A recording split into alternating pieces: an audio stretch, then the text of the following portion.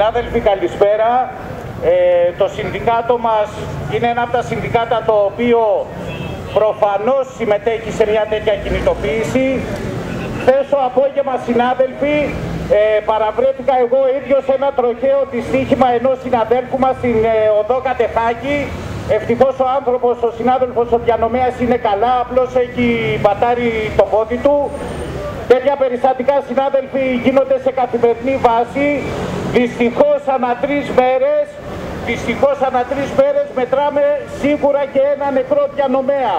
Και αν καθυστερήσει αρχίζουμε και απορούμε κιόλας τι έχει γίνει.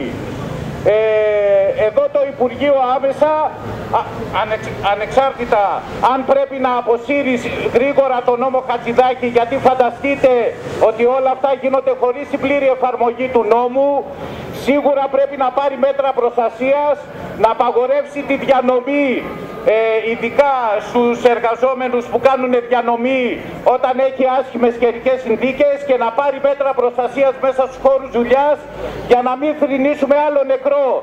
Δεν μιλάμε απλώς ούτε για δυστυχήματα, μιλάμε για εργοδοτικά εκκλήματα, την εντατικοποίηση της δουλειάς, ε, και συνεχώς μετράμε ανθρώπους οι οποίοι δεν γυρνάνε στο σπίτι τους. Ο χθεσινός συνάδελφος ήταν απλά τυχερός. Μόνο τυχερός ήταν που πήγε στο νοσοκομείο και θα γυρίσει σε 20 μέρες στο σπίτι του με το πόδι του παταρισμένο.